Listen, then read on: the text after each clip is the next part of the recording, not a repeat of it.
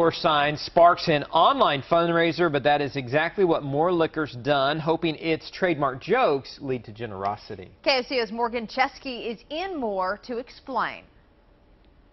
Paul Jess, it's the business whose sign promises folks a smile or at least some quality sarcasm. But an accident's left More Liquor determined to turn this into something positive. You can't hit the kids, but you can still hit the bottle.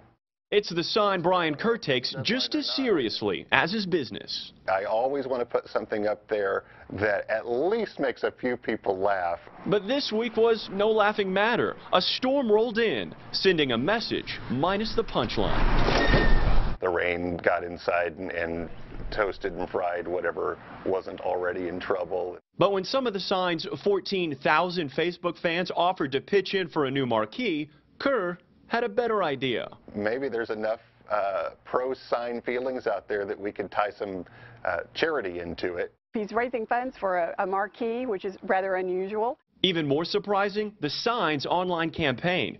Kerr promised half the money to Moore's backpack program, feeding hungry students. And in just minutes, the cash started coming in. For him to think about the backpack program and to think about our children in our school district is awesome. By noon, the sign already topped its $1,000 goal, putting a smile on the man's face, already planning his next sign. Hopefully it'll be something spectacular, you know, get a couple of drinks in me and a couple of friends around and maybe we'll come up with something that'll really make people laugh. In Moore, Morgan Chesky, KOCO 5 News.